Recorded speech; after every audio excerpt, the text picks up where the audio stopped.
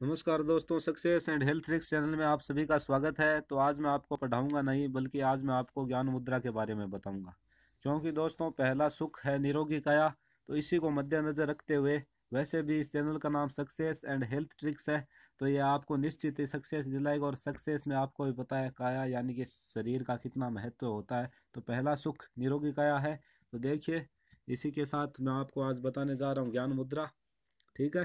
तो संस्कृत में ज्ञान का मतलब होता है बुद्धिमता ज्ञान मुद्रा का नियमित अभ्यास करने से साधक के ज्ञान में वृद्धि होती है और इसलिए इसे अंग्रेज़ी में मुद्रा ऑफ़ नॉलेज भी कहा जाता है। ठीक है दोस्तों, अब मैं आपको बताऊँगा इसकी विधि।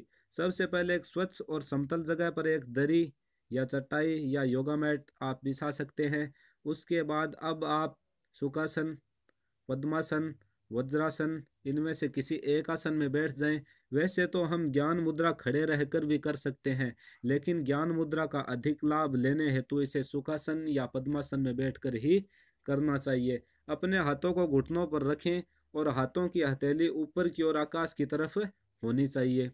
अब तर्जनी अंगुली यानी कि इंडेक्स फिंगर को गोलाकार मोड़कर अंगूठे यानी कि थंब के अग्रभाग को स्पर्श कराना है। अन्य तीनों अंगुलियों को सीधा रखना है। यह ज्ञान मुद्रा दोनों हाथों से करनी है।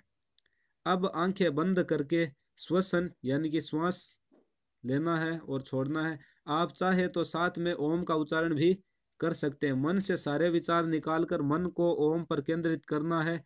दिन भर में कम से कम पंद्रह से तीस, पंद्रह से पैंतालीस मिनट करने पर इसका लाभ मिलता है। एक साथ इतना समय न मिलने पर आप पाँच पाँच मिनट के टुकड़ों में से तीन, चार बार या अधिक बार भी कर सकते हैं। ऐसे तो मुद्रा का अभ्यास हम किसी भी समय कर सकते हैं, पर सुबह के समय और शाम के समय इसका अभ्यास करना अधिक लाभदायक होता है। ठीक है दोस्तों, अब मैं आपको बताने जा रहा हूँ इसके लाभ। तो ज्ञान मुद्रा के लाभ बुद्धिमता और स्मरण शक्ति बढ़ती है, यानी याद रखने की क्षमता बढ़ जाती है। एकाग्रता बढ़ती है यानी जिस, जो काम भी आप करते हो उसमें आप एकाग्र वहीं पर आपका मन लगा रहेगा। ठीक है?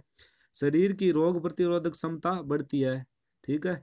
ज्ञान मुद्रा का नियमित अभ्यास करने से सारे मानसिक विकार, जैसे कि क्रोध, भय, शोक, ईर्ष्या आदि से आपको छुटकारा मिल जाता है।